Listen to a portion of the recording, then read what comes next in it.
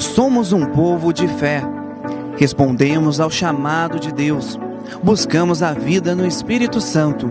Nos reunimos, oramos, amamos, cuidamos, acolhemos.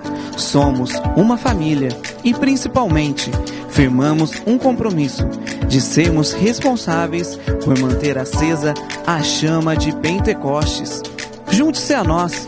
Vamos juntos resgatar, guardar e propagar a identidade da RCC para que o mundo seja batizado no Espírito Santo. Somos grupos de oração. Somos RCC Brasil.